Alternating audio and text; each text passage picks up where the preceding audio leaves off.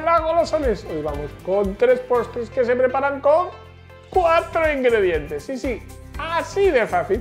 Y no me lío más porque comenzamos con esta auténtica maravilla, quizás el postre más rico y además sin utilizar harina. Lo primero que hago es colocar 5 huevos de los grandes, de los de tamaño L, en un recipiente amplio junto con 400 mililitros o dos tazas de leche condensada. Y esto lo vamos a batir súper bien. Así que a darle buena caña con un tenedor, unas varillas manuales o si son eléctricas, como yo, muchísimo mejor porque se te mezclará en cuestión de uno o dos minutos. Una vez bien mezclado, añade el queso crema o queso de untar. También en buena cantidad, dos tazas son unos 400 gramos.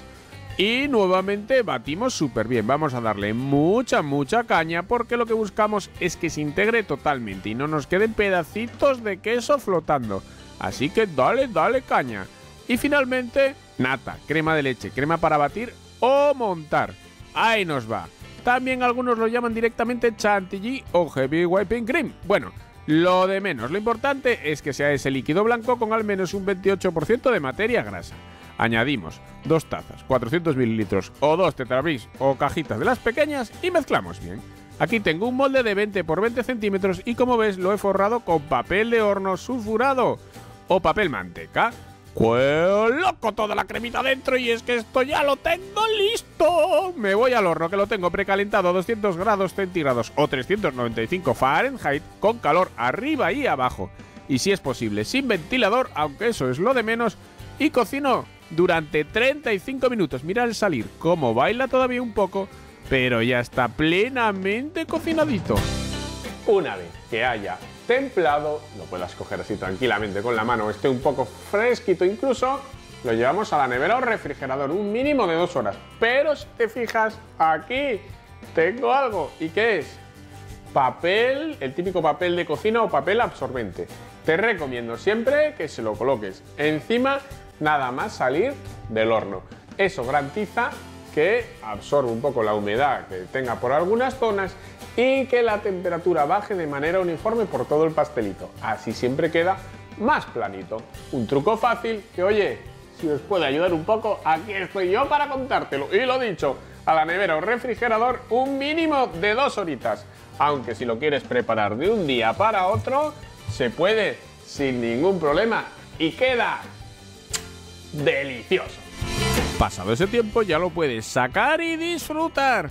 ¿Que lo quieres hacer de un día para otro? No hay ningún problema. Perfecto. Mínimo dos horas, pero puedes dejarlo el tiempo que necesites dándole fresquito. La cuestión simplemente después es retirar el arito de alrededor del molde, este papel que le habíamos puesto y mira, según lo desmoldas ya tiene esta pedazo de pinta. No necesita ni decoración, ese doradito y brillito por arriba es totalmente natural cortamos un pedazo y te enseño lo más importante que en las personas y en los postres es esto, el interior. Mira, mira, mira, mira, mira, mira, mira, mira, mira y mira otra vez, qué auténtica maravilla. Un postre cremosito. Mira, mira, mira, mira, mira, mira, mira, qué pintaza, qué blandito y qué cremoso. A que apetece hincarle el diente. Como también te está apeteciendo seguro coger una de estas galletas que prácticamente se deshacen en la boca. ¡Qué rica! Comenzamos colocando en un recipiente amplio 175 gramos o una taza y un tercio de mantequilla a temperatura ambiente. Luego removemos y aplastamos muy bien hasta que esté cremosito. Importante que la mantequilla esté blanda, para eso que esté a temperatura ambiente. Si te pones a hacerlo y ves que la mantequilla está un poco dura, puedes calentarla ligeramente, muy muy ligeramente, para facilitar el proceso. Al final tendrás una textura como esta, blandita, blandita y sin grumos. Perfecta para mezclarse muy, muy fácilmente, porque ahora vamos a añadirle el toque dulce que nos da el azúcar glass o azúcar en polvo. Vamos a añadirlo y darle vueltecitas hasta que la crema vaya absorbiendo todo el polvo de azúcar. Así obtienes una crema un poquitillo más densa ya dulcita. Así que hazlo en este orden y así aprovechas para deshacer súper fácil los grumitos de azúcar glass tan típicos. Una vez que tengas una textura una vez más cremosa y lisa, vas a sumar el siguiente ingrediente. En este caso van a ser los huevos. Concretamente, dos huevos de los grandes, de los de tamaño L, que dicen que pesan al menos 63 gramos. Bueno, lo dicho, añadimos los huevos y a remover súper bien. Es interesante que se mezcle lo más posible, así que a darle muchas vueltecitas hasta que veas que está lo más deshecho posible el huevo. Al final tendrás una textura como esta. Y aquí vamos a darle un extra con una buena pizca de sal. Esto es opcional, pero si tu mantequilla es sin sal, te lo recomiendo. Y añadimos también la harina para dentro, dos tazas o 260 gramos de harina de trigo de uso común de toda la vida. ¡Ay, que nos va! ¿Que las quieres hacer con otra harina? No hay problema, esta receta lo admite todo. Puedes utilizar la harina que prefieras. El único objetivo es que te quede una masa muy muy blandita y cremosa que al final puedas pasar a través de una manga. Así que con estas cantidades te queda perfecto. Si utilizas otro tipo de harina, quizás necesites un poco más o un poco menos de mantequilla. Mientras lo voy mezclando todo, te recuerdo que si te gusta el vídeo me regales un like, que siempre ayuda un poco. Y también que es un momento fantástico para que te suscribas al canal y actives la campanita para estar siempre al día de todas las novedades. Y aquí lo que te decía, mira la textura. Blandita, blandita, perfecta y sin ningún tipo de grumo. Además, lo hemos hecho simplemente removiendo con la lengua. Y aquí tenemos lo que vamos a utilizar, una boquilla rizada más o menos estrecha. Lo vamos a colocar en esta manga y con ello vamos a hacer las galletas. Oye, ¿que no quieres hacerlas de esta manera? Bueno, pues puedes hacerlas con cualquier otra forma, simplemente utilizando unos guantes de plástico para darle forma. Pero yo recomiendo si tenéis una manga, utilizarla porque quedan muy profesionales y ya ves que no se tarda nada, mira, vas haciendo, en este caso, herraduras. Puedes hacerlas de la forma que quieras, pero para mí así quedan súper bien, una forma muy profesional y muy sencilla que simplemente requiere hacer así herraduras o letras U, tan sencillo como apretar suavemente la manga e ir moviéndola. No necesitas que queden perfectas porque se van a igualar un poquillo en el horno. Mirar de cerca, simplemente que queden un poco gorditas, que yo creo que en esta toma se aprecia bien. Y ya está. Otra por aquí. Ahí está. Y otra por acá. Haremos esto hasta acabar toda la bandeja. Ya ves que lo hago sobre una silicona y también te valdría un papel de horno. Una vez que lo tienes, al horno con ello. Lo tengo precalentado a 175 grados o 350 Fahrenheit. Lo coloco en la parte medio baja y horneo hasta que estén doradas. En mi caso, unos 15 minutos. Fundamental el horno. A mí me han tardado a 175 grados centígrados, que son unos 350 Fahrenheit más o menos, 15 minutos. Pero lo importante es fijaros bien, mirar cuando veáis que el bordecito empieza a dorarse, aunque estén un poco pálidas por arriba, es el momento de sacarlas. Como acabas de ver, con estas cantidades nos da para dos super bandejadas. Claro que sí. Y ahora las decoras una vez que estén frías. En mi caso con chocolate. Voy a colocar simplemente al baño María tres cuartos de tableta, unos 150 gramos. En mi caso de chocolate para fundir o chocolate para postres, pero podrías utilizar lo que quieras. Dejarlas tal cual, ponerles un poco de azúcar glass, un poco de sirope, lo admiten todo. Y sin nada, también quedan súper bien. Pero ya que hice la forma de herradura, voy a darle un toquecito pequeño de chocolate que creo que le da un toque de elegancia y sabor. Y se hace así de fácil, tan sencillo como coger cada una de estas galletas, moverla un poquitillo para quitar el excedente de chocolate y la dejamos en la misma silicona o papel de horno para que el chocolate endurezca de nuevo. Así de fácil, mojar, recudir un poco y ya está. ¿Que lo quieres ver de cerca?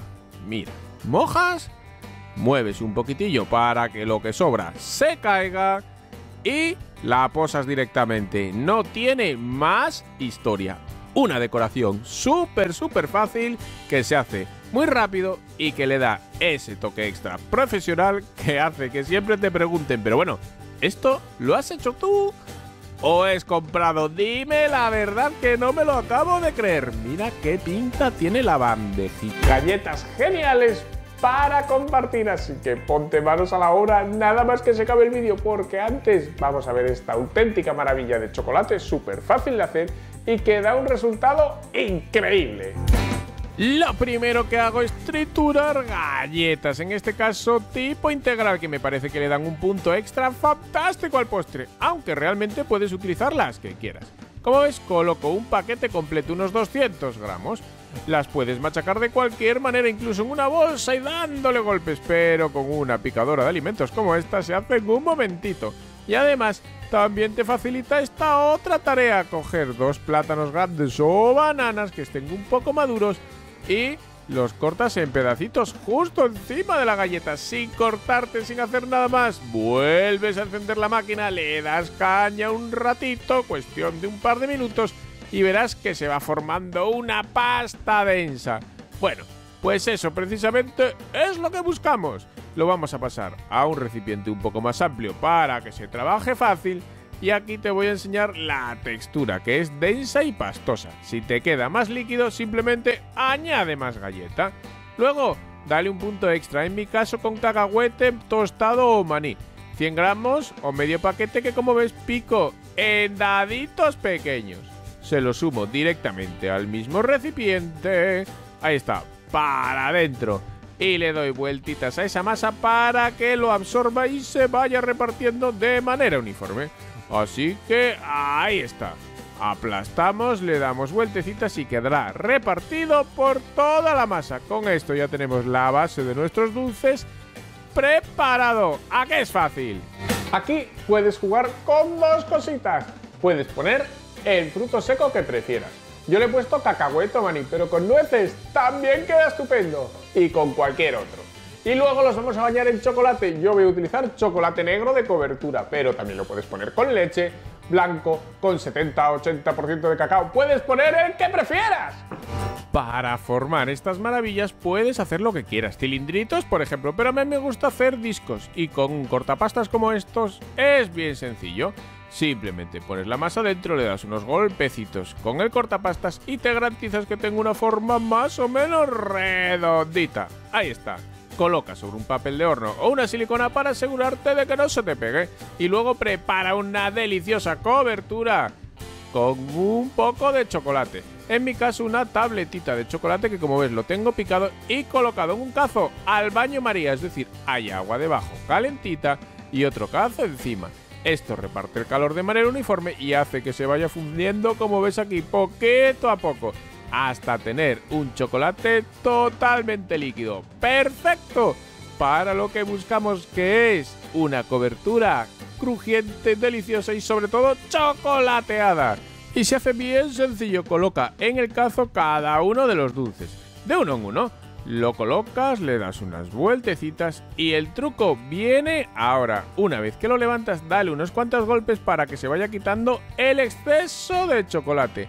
Luego, deja que vaya enfriando en una rejilla ahí mismo. Te puedes ayudar de un cuchillito para asegurarte que deslice bien y el acabado del lateral también sea bonito. Repetimos, colocamos en el chocolate golpecitos para quitar el excelente y colocamos en la rejilla. Y mira, mira, mira, mira, mira, mira qué pedazo de pinta, qué super bandeja de dulces de chocolate hemos preparado en un momentito, sin cocinar, sin usar horno ni nada raro. Mira, mira, mira, mira, mira, mira qué auténtica maravilla hemos preparado sin utilizar el horno. Me han encantado las tres ideas con cuatro ingredientes. Espero que a ti también y que me digas abajo en los comentarios si te ha gustado más. Que espero te hayan encantado. Y si aún quieres más, pulsa en este cuadrito y a disfrutar de ese vídeo también.